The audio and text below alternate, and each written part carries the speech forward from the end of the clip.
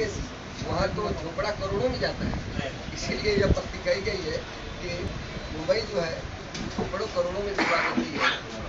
और जो लोग दो वक्त की रोटी से संतुष्टि कर लिए हैं कभी कभी वो भी अपने झोपड़े को बेचकर करोड़ों में पहुँच जाते हैं।